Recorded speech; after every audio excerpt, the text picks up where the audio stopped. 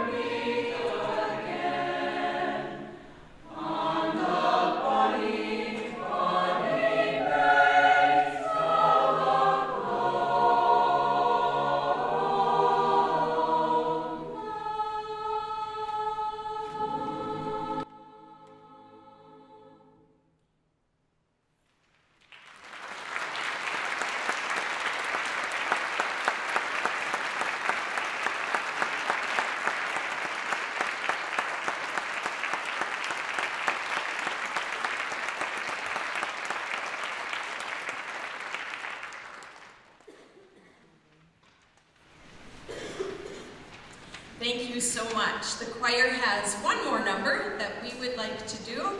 In between each of our sets, we'll move things as very quickly as we can, but do feel free to stand up and stretch your legs. Um, a long story on why we changed the order of the concert. It just, it ended up working out best this way. So the orchestra will be up here shortly um, after we are done. We welcomed back to the stage our wonderful accompanist, and she is just worth gold. And so before this song even, we're going to recognize her right now because she does so many wonderful things for us.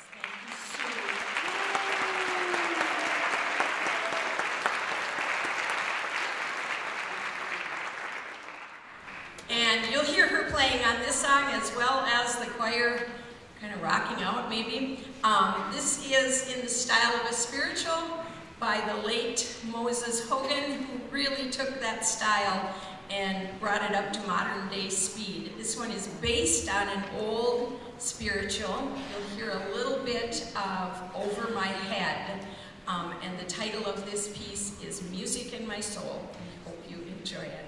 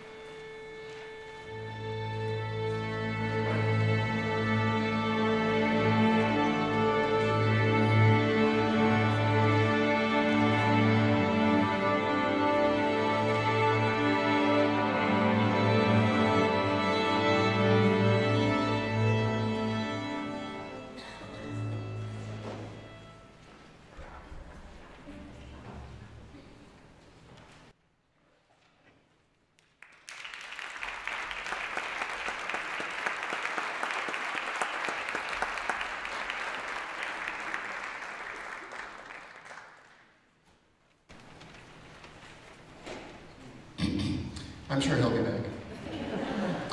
I'm Mr. Myers. I'm the uh, 4 through 12 orchestra director here in the Marshall Public Schools. Thanks for being here tonight on this uh, makeup concert night. Uh, it's lovely to be able to share our music with you this evening, uh, band, orchestra, and choir. After we're completed, uh, the band will um, then play after us. Again, there's a little bit of a wait time. a few more band students have to fill this stage, so um, patience is appreciated, and it's great to be able to have people stay and hear all the different kinds of um, music that we're having at the highest level here in the district. Um, before I get started, I'd like to recognize a few students. Um, I have a trio of seniors who have been competing in the uh, St. Paul Chamber Music uh, Youth Chamber um, Music Competition, which is a state level competition. Um, only the top chamber groups are in there. Um, a lot of these groups are, are coached up on a weekly basis, private lessons as a group. Um, really fine musicians. We heard them in the semifinal rounds last weekend, and uh, we were happy to hear that um, these three students are going to go on to the final round um, coming up on Sunday. JP, Joel, and Annie. So if they'd stand, and if you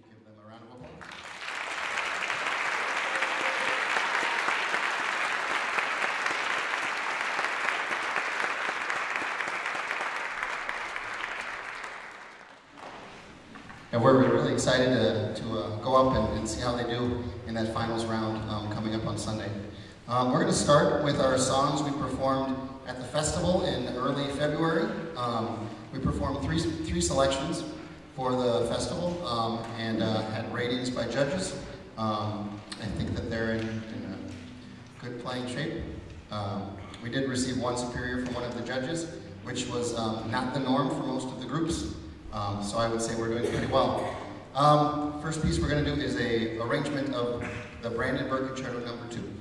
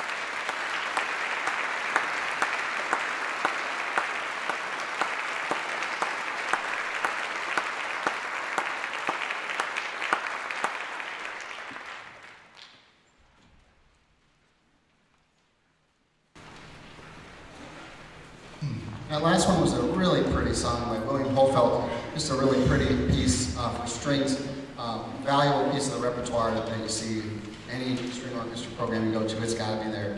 Great piece. Um, had a nice solo at the end by JP, and uh, um, just love to play that one. It's so pretty and so expressive. So, uh, last piece from our festival um, content that we're going to do is the last movement of the St. Paul Suite, uh, which is a uh, pretty big piece, uh, piece that uh, real orchestras play. Um, it was written for the St. Paul School um, by Holst in um, England, um, but it is uh, by no means a, a, a kid piece. It is very difficult. Lots of interesting things going on. Uh, we have a kind of a thing called a hemiola where some people are playing in one time signature and some other people are playing in another at the same time.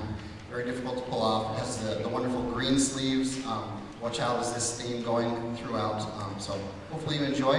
Um, after we play the finale from the St. Paul Suite, we'll finish up with a uh, arrangement of the Godfather theme. Uh, and the very beginning of that is going to have an unaccompanied solo by Abraham Tavares. So, um, St. Paul Suite and then the Godfather.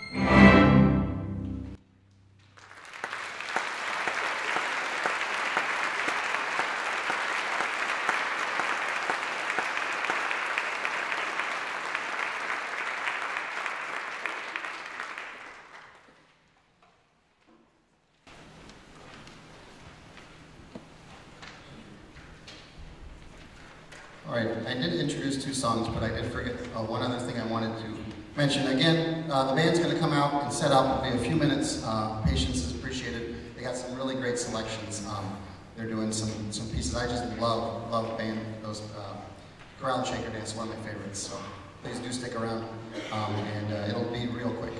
Um, before we do our final piece, I do want to mention another um, thing just to be really proud of. Um, I was looking on the Twitters because I'm trying to be hip with the times. And I saw that the, uh, the math team, of which includes a lot of music students, the math team won uh, first place at, uh, at state. So um, a number of those students are in the orchestra, some of them are in the choir and in the band. Um, so not all of them are on the stage here, but if uh, the, the math team folks that are in the orchestra, go ahead and stand up and we'll applaud.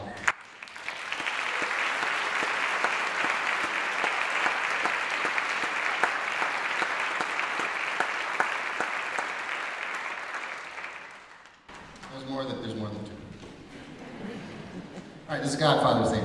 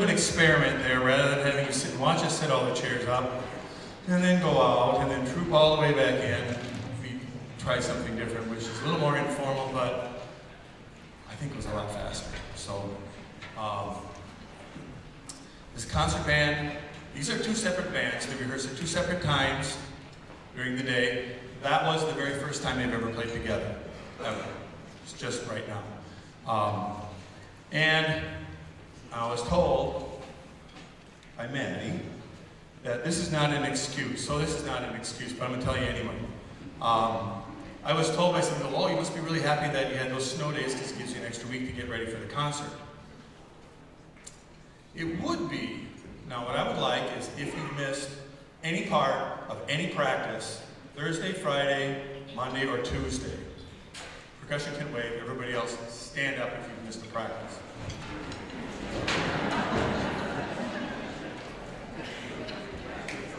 I could make it worse to show you all the ones that missed two to four of the last four days, but we won't go there.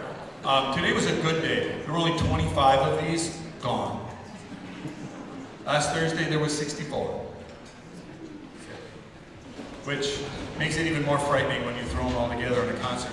Um, okay, last piece, Crown Shaker Dance. Crown Shaker Dance is one of my favorites. It's, I've done it maybe, maybe twice here, maybe.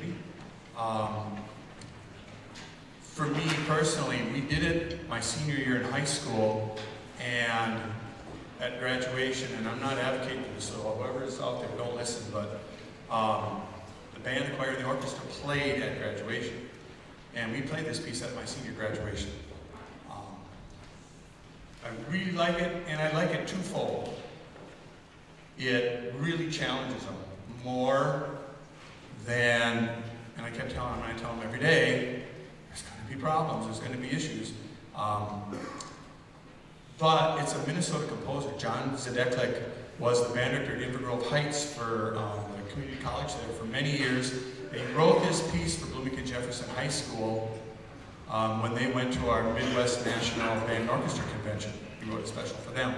Um, it's always nice to celebrate a Minnesota composer. There are so few Minnesota composers that write really good quality band music. This piece is on the category one list in pretty much every state in the nation for band competitions and everything. Um, so I hope you enjoy Crowd Shaker Dance.